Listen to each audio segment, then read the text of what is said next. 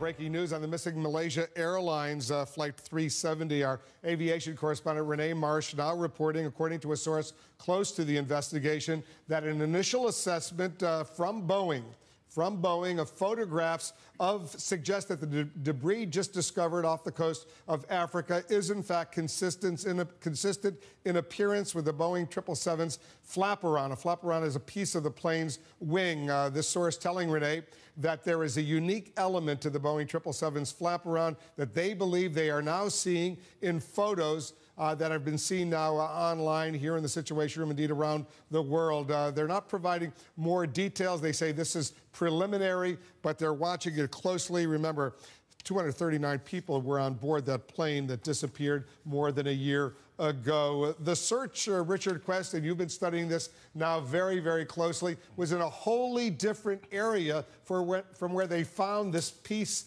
of the plane, presumably. Uh, and it, it raises all sorts of questions, doesn't it?